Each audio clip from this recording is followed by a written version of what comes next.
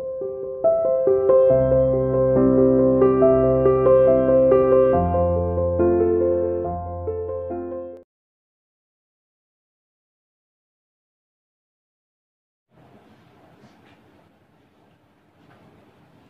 welcome to C R international online classes कैसे बच्चों आप लोग? I hope everyone is fine जैसा कि बच्चों आप लोग जानते हो, हम चैप्टर नंबर सिक्स की रीडिंग कर रहे हैं।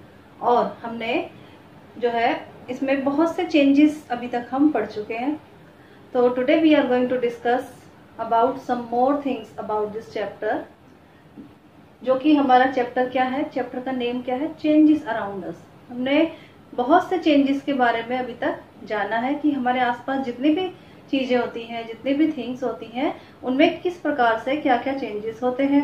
कुछ चेंजेस अपने आप होते हैं, कुछ चेंजेस नेचुरली होते हैं, कुछ चेंजेस रिवर्सिबल होते हैं जिनको वापस दोहराया जा सकता है रिवर्स किया जा सकता है और कुछ चेंजेस कैसे होते हैं? इरिवर्सिबल होते हैं जिनको रिवर्स नहीं किया जा सकता। तो आज हम उसी टॉपिक को आगे कंटिन्यू कर रहे हैं।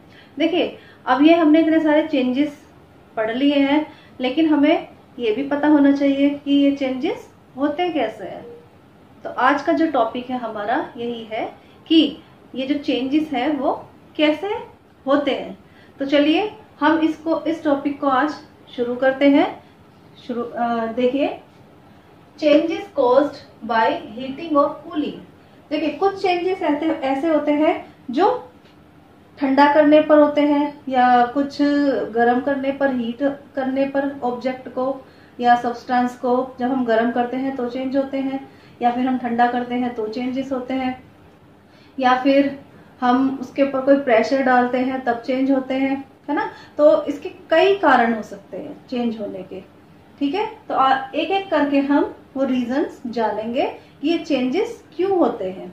तो सबसे पहले हम लेते हैं चेंजेस कॉज बाय हीटिंग और कूलिंग तो जो चेंजेस हीट करने पर ऑब्जेक्ट को और कूल करने पर, है ना? मान लीजिए हमने किसी सब्सटेंस को ठंडा किया तो उसमें क्या चेंज आया और किस प्रकार का चेंज आया और क्यों हुआ? और मान लीजिए हमने किसी सब्सटेंस को हीट किया तो उसमें जो चेंजेस आए वो कैसे हुए? तो ये सब चीज़ें हम अब यहाँ पर देखेंगे। चलिए, शुरू करते हैं सबसे पहले। सर्टेन थिंग्स बिकम हॉट कुछ चीज़ें गर्म होती हैं। ऑन हीटिंग जब हम उनको गर्म करते हैं, ये आप लोगों ने अपने घर में रोज एग्ज़ाम्पल देखते होंगे। कोई भी चीज़ ऐसी होती है जिसको अगर हम गर्म करें तो वो क्या होती है? हॉट हो जाती है, गर्म हो जाती है।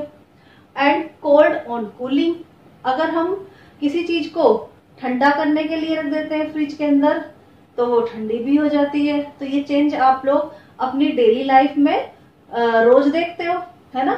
किसी चीज़ को हमें ठंडा करना हो तो हम उसको ठंडा कर देते हैं। किसी चीज़ को अगर हमें गर्म करना है तो हम उसको गर्म कर देते हैं। गर्म करने के लिए हम उसको, उसका टेम्परेचर इंक्रीज करना पड़ता है और ठंडा करने के लिए हमें इसका टेम्परेचर जो है डिक्रीज करना पड़ता है, यानी कि कम करना पड़ता है। और कम कहाँ पर होता है इसका टेम्परेचर हम उसको फ्रिज में रख देते हैं या फिर फ्रीजर के अंदर रख देते हैं। ठीक है? तो इस प्रकार के जो चेंजेस है, देखिए फ़र्स्ट एग्ज़ाम्पल जो मैंने यहाँ पर लिया है, वो है और वाटर का ही एग्ज़ाम्पल मैंने लिया है, देखिए ऑन हीटिंग वाटर जब हम वाटर को गर्म करते हैं the temperature of water rises rises यानी बढ़ जाता है, ठीक है? तो जो वाटर का टेम्परेचर है, वो कैसा होता है? वो बढ़ जाता है, जब हम उसको हीट करते हैं, यानी कि गर्म करते हैं एंड इट बिकम्स हॉट और हमारा वाटर कैसा हो गया? हॉट हो गया, यानी कि गर्म हो गया। आप सभी ने कभी ना कभी वाटर गर्म किया होगा अपने घर में, ठीक है? तो क्या करते हैं हम उसका, जब टेम्परेचर हम उसका राइज करते हैं टेम्परेचर बढ़ाते हैं वाटर का तो वो जो है चेंज हो जाता है। पहले ठंडा था, फिर उसके बाद उसमें क्या चेंजेस आए? वो हॉट हो गया, यानी कि गर्म हो गया। तो इससे हम क्या जो है, निष्कर्ष निकालते हैं कि objects become hot on heating इससे क्या निष्कर्ष निकलता है, क्या ऑब्जर्वेशन होता है कि जो भी ऑब्जेक्ट्स होते हैं, ठीक है, उनको अगर हम हीट करते हैं हीट कर दें, यानी कि गर्म कर दें तो क्या होगा, वो हॉट हो जाते हैं, गर्म हो जाते हैं। तो ये इसका जो है निष्कर्ष निकलता है। क्या निकला? Objects become hot on heating यदि हम किसी ऑब्जेक्ट को गर्म करते हैं हीट करते हैं, या उसका टेम्परेचर इंक्रीज करते हैं तो वो ऑब्जेक्ट कैसा हो जाता है? हमारा हॉट हो जाता है, यानी गर्म हो जाता है। तो ऑब्जेक्ट जो है हीट करने पर गर्म हो जाते हैं हॉट हो जाते हैं। नेक्स्ट देखिए, यहाँ पर भी इसको हम रिवर्स कर लेते हैं, उल्टा कर लेते हैं। When we keep water in a refrigerator जब हम वाटर को क्या करते हैं? रेफ्रिजरेटर के अंदर रखते हैं फ्रिज के अंदर रखते हैं फॉर सम टाइम कुछ समय के लिए, ठीक है? The temperature of water falls यानी कि जो वाटर का टेम्परेचर है, वो कैसा हो जाता है? वो फॉल हो जाता है, यानी कि गिर जाता है, कम हो जाता है, ठीक है? एंड इट बिकम्स कोल्ड और हमारा वाटर कैसा हो जाता है? कोल्ड हो जाता है, यानी कि ठंडा हो जाता है। तो इससे हमारा क्या रिज़ल्ट निकला कि objects become cold, on cooling. तो जो ऑब्जेक्ट्स होते हैं, यदि उनको कूल किया जाए, ठंडा किया जाए तो वो कैसे हो जाते हैं? कोल्ड हो जाते हैं। ये भी एग्ज़ाम्पल ये भी जो है आप लोग अपने घर पे रोज करके देखते होंगे।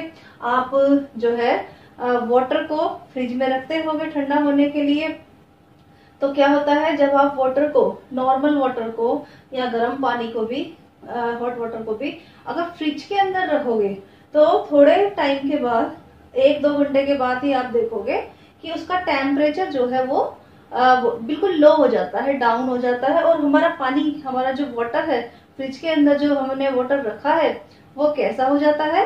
वो ठंडा हो जाता है कोल्ड हो जाता है। ठीक है? आगे देखिए।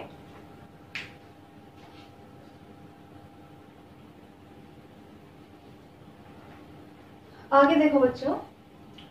The process of heating and cooling goes on in nature as well यानी कि ये जो कूलिंग है और हीटिंग की जो प्रोसेस होती है, ये नेचर में भी होती है, अपने आप, है ना? नेचुरली भी होती है। जैसे वाटर को हम हीट करते हैं या कोल्ड करते हैं तो हम घर में भी करते हैं, लेकिन वो ह्यूमन मेड हो गया, वो हम अपने द्वारा करते हैं, ठीक है? लेकिन नेचर में भी ये प्रोसेस अपने आप होती है, ठीक है? कैसे होती है? The days are warm due to the heat of the sun देखो, एक एग्ज़ाम्पल तो हम यहाँ पर रोज ही देखते हैं कि दिन के समय में जब सन की लाइट अर्थ के ऊपर पड़ती है तो डे का जो टेम्परेचर होता है, वो कैसा होता है? ज़्यादा होता है। और वहीं पर हम यदि नाइट का टेम्परेचर देखें, क्योंकि नाइट के समय क्या होता है? जो सन की लाइट है, वो अर्थ के ऊपर नहीं पड़ती है। ठीक है? तो अर्थ क्या हो जाती है? कूल हो जाती है, ठंडी हो जाती है। तो ये सबसे बड़ा एग्ज़ाम्पल है। The nights are cool as there is no heat of the sun क्योंकि जो है, रात के समय, रात का जो समय है नाइट का जो समय है, वो उस टाइम पे आप लोग बाहर जाके देखो तो आपको टेम्परेचर में थोड़ा डिफरेंस नज़र आएगा। और दिन के समय में यदि आप बाहर निकलते हो तो आपको बहुत ज़्यादा हीट महसूस होती है, गर्मी महसूस होती है।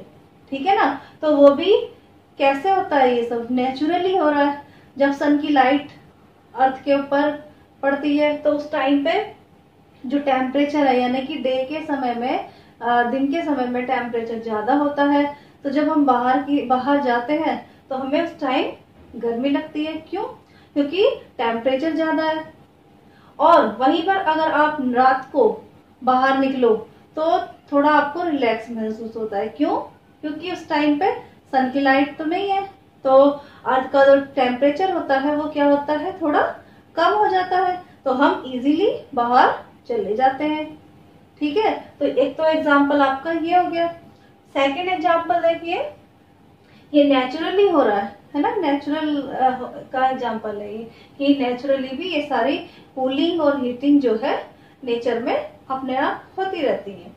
सेकेंड एग्ज़ाम्पल देखिए। Land breeze and sea breeze are also caused by heating and cooling of land and sea water देखिए जब ये लैंड ब्रिज और सी ब्रिज क्या होती है? ये समुद्री हवाएँ और जो लैंड पर चलने वाली हवाएँ होती है ना, जो ज़मीन पर हवाएँ चलती है। जब डे के समय में आप लोगों ने देखा होगा कि टेम्परेचर ज़्यादा होता है तो अर्थ जो है वो गर्म हो जाती है।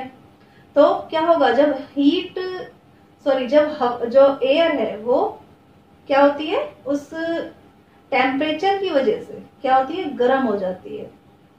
जो अर्थ का टेम्परेचर होता है, उसकी वजह से एयर गर्म हो जाती है। ठीक है? तो आप लोगों ने कभी महसूस भी किया होगा कि दिन के समय में अगर जब हम बाहर कहीं जाते हैं तो जो हवा है, वो हमें गर्म लगती है। है ना? गर्मी के मौसम में ज़्यादातर आप लोगों ने फील किया होगा। और उसी प्रकार से जो सी ब्रिज है, यानी कि जो समुद्र से उठने वाली जो हवाएँ हैं, वो हमें ठंडी महसूस होती हैं। कभी आप में से कोई बच्चा ऐसी जगह पर गया हो जहाँ पर समुद्र हो। जैसे मुंबई, कोलकाता, ऐसी जगह पर समुद्र पाए जाते हैं। तो वहाँ पर क्या है? वहाँ के जो आसपास की जगह है, समुद्र के आसपास की जगह तो वहाँ पर लोगों को ठंडी हवा फील होती है। है ना? सी ब्रिज यानी उसको क्या कहा जाता है? सी ब्रिज क्यों? क्योंकि समुद्र के अंदर क्या होता है? वाटर होता है। सी के अंदर वाटर होता है। तो वो जो हवा है, वो एयर है वो उस वाटर के कारण कैसी हो जाती है? कूल हो जाती है, ठंडी हो जाती है। आती तो वो लैंड की तरफ़ से ही है, लेकिन उस वाटर की वजह से वो कूल हो जाती है, ठंडी हो जाती है। ठीक है?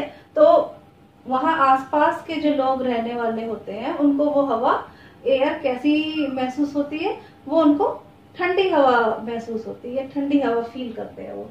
जबकि हम जब हम, हमारे आसपास जहाँ पर सी नहीं है, समुद्र नहीं है तो दिन के समय में हमें, हम, जो हमारे आसपास एयर होती है, वो हमें कैसी महसूस होती है? गरम हम गरम लगती है हमें, ठीक है? तो इसी प्रकार से ये जो एयर है, वो भी टेम्परेचर के कारण, जब उसको ज़्यादा टेम्परेचर मिला तो कैसी हो गई? गर्म हो गई, ठीक है? और जब उसको कम टेम्परेचर मिला तो कैसे हो गई? वो ठंडी हो गई कूल हो गई, ठीक है? तो land breeze and sea breeze are also cause by heating and cooling of land and sea water तो यहाँ तक आप लोगों का आई होप सभी को अच्छे से समझ में आया होगा।